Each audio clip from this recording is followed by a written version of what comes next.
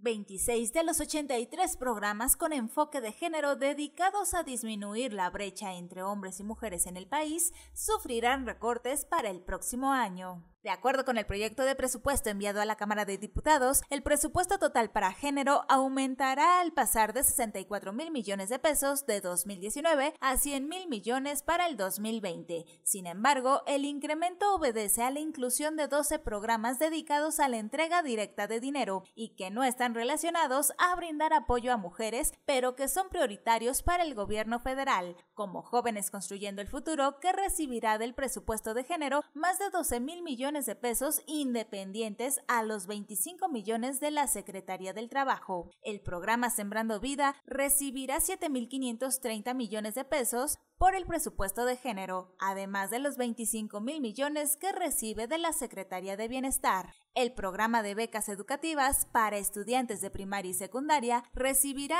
7.618 millones de pesos, además de los 30 mil millones que recibe de la Secretaría de Educación. Y hasta el programa de precios de garantía a productos alimentarios incluirá 2 mil millones más del presupuesto de género. En cambio, para los programas enfocados solo para mujeres como salud materna, sexual y reproductiva, se propone un recorte del 21%, por lo que pasaría de 2.315 millones de pesos a 1.818 millones para el 2020. Otro ejemplo es el programa de promoción a la atención y prevención de la violencia contra las mujeres, al que se le destinarán 267 millones de pesos, pero que para poder operar requiere de 417 millones según la Comisión Nacional para Prevenir y Erradicar la Violencia. Para el siguiente año, no se contarán con recursos para poder realizar investigaciones relacionadas con los delitos de delincuencia organizada como la trata de personas. Además, el Banco Nacional de Datos e Información sobre Casos de Violencia contra las Mujeres solo tendrá 6.900.000 pesos para sus funciones, cuando en el 2019 contó con 16 millones de pesos. Reportó para Canal 6 eh, Denis Mondragón.